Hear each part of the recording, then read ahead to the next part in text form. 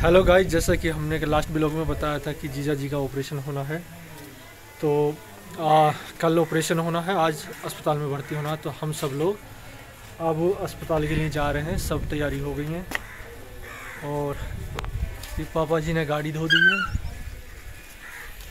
अनिका चले अस्पताल? तो अनिका के पापा का ये ऑपरेशन होना है अब हम जीजा जी उधर बैठे हैं। जल्दी कार में बैठ के हम निकलने वाले हैं और आगे की अपडेट देते रहेंगे। घर के सभी लोग जा रहे हैं तो शाम को मैं लौट कर आऊँगा और मेरे खाने के लिए। दीदी मेरे लिए खाना बना रही हैं। ये देखिए दोस्तों, आलू गाजर बना रही हैं मेरे लिए। रोटी नहीं सेक रही हैं, रोटी मैं बड़ी वाली दीदी के यहाँ जाऊँगा। उनके यहाँ से कुछ रोटी ले आऊँगा क्योंकि अब मैं अकेले के लिए क्या रोटी बनाऊँगा? वैसे बनाना तो मुझे खाना आता है। वैसे खाना बनाना तो आता है मुझे लेकिन अकेले के चक्कर में मैं बनाऊँगा नहीं। और एक ये है सक्षम ये हमेशा ही मोबाइल चलाता रहता है। इसकी बहुत ज़्यादा बैड हैबिट है लेकिन पढ़ने में भी अच्छा है। ये अपनी क्लास में फ़र्स्ट आता है और इसको प्राइज भी मिलते रहते हैं। तो जल्दी हम निकलने वाले हैं सामान हमने देखिए। पैक कर लिया है क्योंकि अस्पताल में बहुत सारी चीज़ों की ज़रूरत होती है। अभी ठंड भी है तो कंबल भी ले जाना है। पापा जी रात में वहीं रुकेंगे और दीदी भी वहीं रुकेंगी, सारे बच्चे भी जा रहे हैं। बस मैं वापस घर आऊँगा।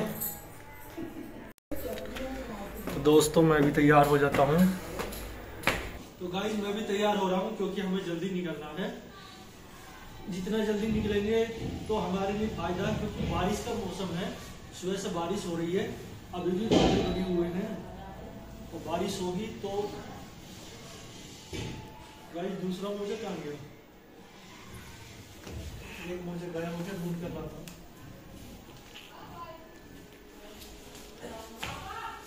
दोस्त, ये ये मोजा बाहर निकाल दिया था, बच्चों ने जूते में से।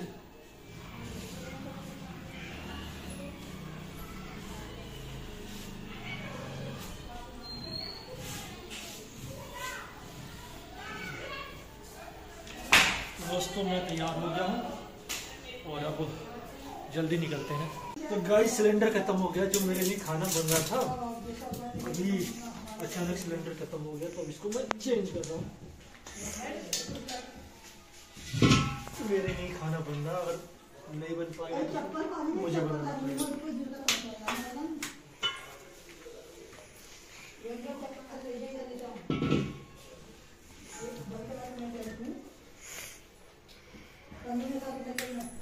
दोस्तों रेगुलेटर लगाने के बाद एक बार चेक कर लेना चाहिए कि गैस लीक तो नहीं हो रही है, क्योंकि कई बार हम जल्दी जल्दी में रेगुलेटर लगा देते हैं, लेकिन चेक नहीं करते हैं और गैस लीक हो रही होती है।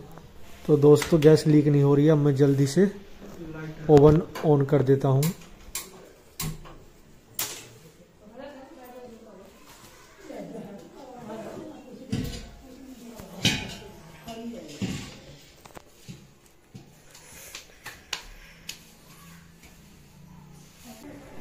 ठंड ज़्यादा बढ़ गई है और जीजा जी के साथ में पापा जी अस्पताल में रहेंगे तो पापा जी के लिए कंबल और जीजा जी के लिए थोड़े से कपड़े हम कार में रख रहे हैं।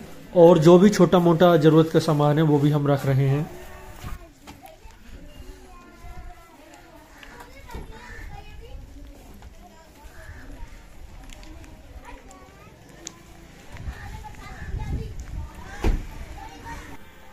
और देखिए दोस्तों पापा जी सुंदर सुंदर पौधों के बीच में बैठे हैं। पहले हम सब लोग निकल रहे हैं। पापा जी दो तीन घंटे बाद शाम के वक्त हॉस्पिटल आएँगे और हॉस्पिटल में पापा जी ही रुकेंगे। गाइस आज हम जा रहे हैं कि हॉस्पिटल और मामा गाड़ी चला रहे हैं इसलिए हम हम दोनों को फ़ोन मेरे मतलब वीडियो बनाने के लिए दे दिया। गाइस तो गए सब हम कल बैठ चुके हैं और हम जा रहे हैं अभी हॉस्पिटल और मैं सक्षम और अनिका और अम्मा रुकेंगे रूम पर। फिर मौसी मामा और मौसी चले जाएँगे हॉस्पिटल तो गाइस हम काशीपुर आ गए हैं और अभी जीजा जी के घर पे रुके हैं क्योंकि यहाँ पे थोड़ा सामान रखना है और बच्चे भी यहीं रुकेंगे और ये माँ भी यहीं रुकेंगी। कल ऑपरेशन होगा तो बच्चों को यही देखेंगी बच्चों की देख रेख करेंगी। और नम्रता ये भी माँ के साथ ही रुकेगी खाना वाना बनाने के लिए और बच्चों की देख रेख के लिए। अस्पताल में दीदी रहेंगी पापा रहेंगे बड़े वाले जीजा आ सकते हैं। और मैं इनको अस्पताल छोड़ के शाम को भर्ती करा करके वापस घर चला जाऊँगा। और सुबह को आ सकता हूँ। और कल ऑपरेशन होता है तो कल जैसे बताया है डॉक्टर ने तो मैं कल ही आऊँगा। और शाम को तो मैं घर चला ही जाऊँगा। कई दिनों से हमारी साइड में ठंडी हवा चल रही है और हल्की हल्की बारिश भी हो रही है तो बूंदाबांदी में मैं भी भीग गया था। तो मेरी तबीयत भी थोड़ी सी नाजुक है, थोड़ा बुखार सा हल्का सा और खांसी जुकाम भी है। दोस्तों, आप भी बच के रहें इस बारिश से। जैसे मैंने बताया था कि बारिश में अगर भीग जाते हैं तो खांसी जुकाम होना तो पक्का है। ठंड भी है तो बच के रहें दोस्तों। और अभी सब लोग सामान रखने के लिए जीजा के घर पे गए हैं। और सामान रख के तुरंत सब लोग अब अस्पताल पहुँचेंगे। चलो माते जाओ आप। अरे, दूर रखो।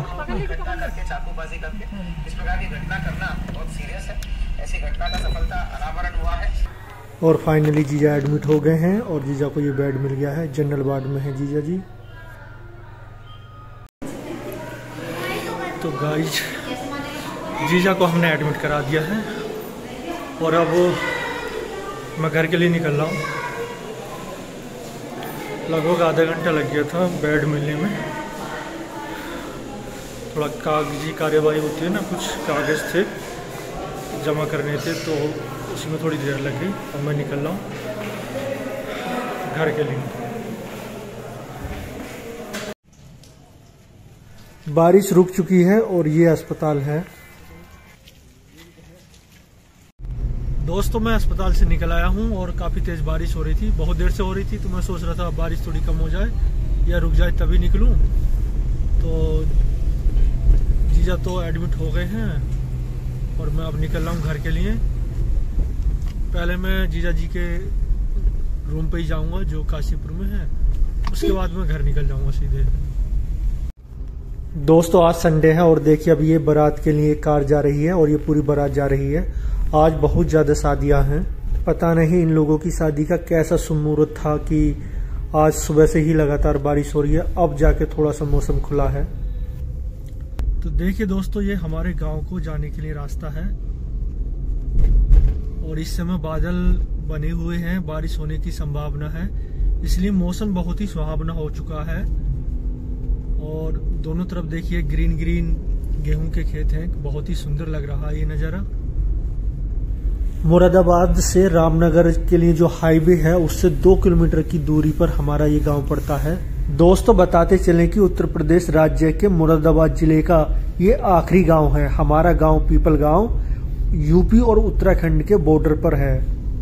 अब हमारे गाँव के बाद उत्तराखंड स्टार्ट हो जाएगा। अभी हम जिस हॉस्पिटल से आ रहे हैं, वो हॉस्पिटल काशीपुर शहर में है और काशीपुर शहर उत्तराखंड में है। दोस्तों, अभी कुछ दिन पहले ही मैंने एक तेंदुआ वाली वीडियो अपने चैनल पर डाली थी तो वो तेंदुआ कहाँ पकड़ा गया था, वो थोड़ा सा मैं दिखाता हूँ।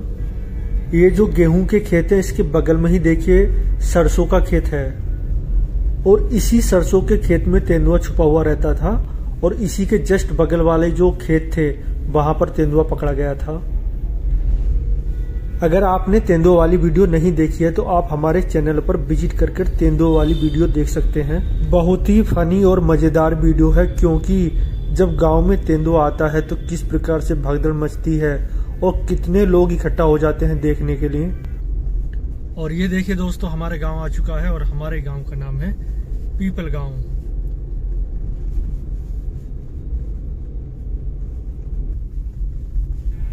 और देखिए दोस्तों, गाँव के शुरुआत में ही बहुत बड़ा तालाब है और इस तालाब में गाँव के लोग ही मछली पालते हैं।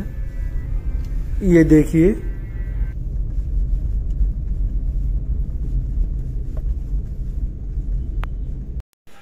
तो दोस्तों, देखिए, अब मैं घर पे आ चुका हूँ और घर पे अब कोई नहीं है, मैं अकेला हूँ। सब लोग अस्पताल के लिए जा चुके हैं। पापा जी भी निकल चुके हैं और खाने के लिए दीदी बना दिया था खाना और रोटियाँ मैं बड़ी वाली दीदी के यहाँ गाँव से होकर आया तो वहीं से ले आया हूँ। तो शाम का खाना तो है मेरे पास। और सुबह को मुझे जल्दी निकलना होगा अस्पताल के लिए, क्योंकि कल ऑपरेशन की डेट दे रखी है दो डॉक्टरों ने। तो मैं जल्दी निकल जाऊँगा। और अगर कल नहीं हो पाया तो फिर मैं नेक्स्ट डे निकलूँगा। तो चलिए दोस्तों, फिर मिलेंगे नए नए ब्लॉग में बाय